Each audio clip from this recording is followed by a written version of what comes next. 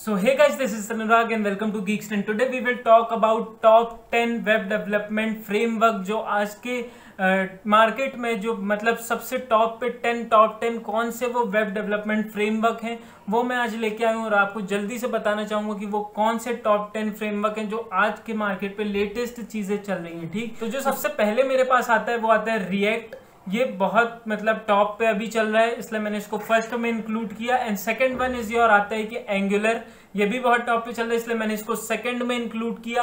And third one is your Django ठीक है? मैंने थर्ड तीन आपको जल्दी जल्दी वेब डेवलपमेंट फ्रेमवर्क बता दी, और जेंगो आजकल बहुत मतलब स्पीड से ऊपर की ओर जा रहा है, क्योंकि हमें पता है कि जेंगो से बहुत अच्छा फ्रेमवर्क है मतलब बहुत सारी उसमें बिल्ट इन होती है, जैसे ऑथेंटिकेशन वगैरह एंड सिक्योरिटीज वगैरह बहुत अच्छी बिल्ट इन होती है, इसलिए बहुत ऊपर की ओर इस समय जेंगो जा रहा है। तो थर्ड जो मेरी लिस्ट में है, वो है जेंगो पहले मैंने रिएक्ट के कुछ कुछ अलग फ़ंक्शन है, वो सेपरेट वीडियो में, अभी मैं सिर्फ़ नाम बता रहा हूँ इन टॉप टेन के, अगर आप चाहते हो तो मैं सेपरेट वीडियो में सबके थोड़े थोड़े मतलब रिव्यूज़ दे सकता हूँ, पर पहला मेरा रिएक्ट है, दूसरा मेरा एंगुलर है, तीसरा मेरा जेंगो है। जेंगो मेरे को ऐसा लगता है कि आने वाले समय में और इनहेंसमेंट करके टॉप पे चला जाएगा। एंड फोर्थ जो मैं बात करूँ वेब डेवलपमेंट फ्रेमवर्क फोर्थ मेरा है Ruby on Rails Ruby on Rails इतना फ़ेमस नहीं है पर बहुत अच्छा फ्रेमवर्क है। मतलब जो प्रोफेशनल काम करते हैं वो इसको ज़्यादा यूज़ करते हैं ठीक? तो ये भी आप देख सकते हो। एंड फिफ्थ मेरे पास वेब डेवलपमेंट फ्रेमवर्क आता है लार्वेल लार्वेल भी आपने लोगों में से बहुत से लोगों ने नहीं सुना होगा पर जो टॉप के ही चल रहे हैं उसको मैं इंक्लूड कर रहा हूँ क्योंकि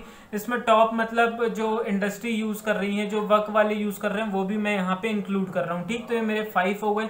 एंड सिक्स आता है एक्सप्रेस ठीक? तो ये बहुत लोगों ने सुना होगा एक्सप्रेस तो भाई बहुत चल ही रहा है तो एक्सप्रेस बहुत लोगों ने सुना होगा। तो मेरा सिक्स वेब डेवलपमेंट फ्रेमवर्क है एक्सप्रेस जो अब मेरा सेवेंथ वेब डेवलपमेंट फ्रेमवर्क आता है, वो है व्यू जेएस व्यू जेएस भी आपने बहुत लोगों ने सुना होगा, इस पर भी बहुत काम चल रहा है, ठीक है तो इसमें भी ये मेरा सेवन पे आता है, इसलिए इसको मैंने सेवन पे रखा। एंड एट्थ वन जो मेरा आता है स्प्रिंग फ्रेमवर्क स्प्रिंग भी आप लोग में से बहुत से लोगों ने सुना होगा। हाँ थोड़े थोड़े लार्वेल वगैरह या फिर ये आपने नहीं सुने होंगे, हो सकता नहीं सुने, पर एक्सप्रेस वगैरह या फिर व्यू जेस बात कर लूँ स्प्रिंग वगैरह ऐसे ही कि आपने बहुत लोगों ने सुना होगा। एंड नाइन्थ मेरा आता है A S P dot net A S P dot net भी बहुत फ़ेमस फ्रेमवर्क है, बहुत दिनों से चला आ रहा है मतलब वेब डेवलपमेंट फ्रेमवर्क के लिए तो आप ये भी S P dot net dot net भी यूज़ कर सकते हैं।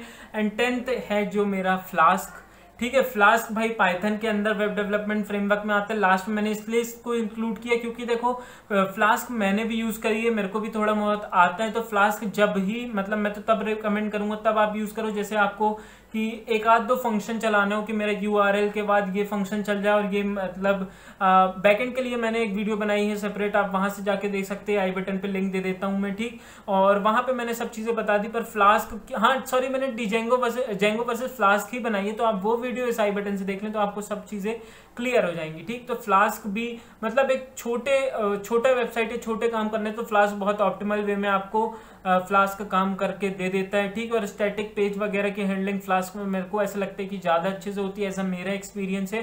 तो टॉप टेन पे ये मेरा फ्लास्क भी इंक्लूड है वेब डेवलपमेंट फ्रेमवर्क पे वेब डेवलपमेंट फ्रेमवर्क पे। तो होपफुली आपको ये वीडियो पसंद आई हो कि मैंने जो आपको top ten web development framework बताए ये आपको यूजफुल हो और आप इनमें से यूज़ करके कुछ भी मतलब अपना वेब डेवलपमेंट कर सकते हैं। तो बस आज की वीडियो यहीं खत्म करते हैं। वीडियो हेल्पफुल लगी तो लाइक एंड सब्सक्राइब और बस आज की वीडियो बस यहीं खत्म करते हैं have a good day and goodbye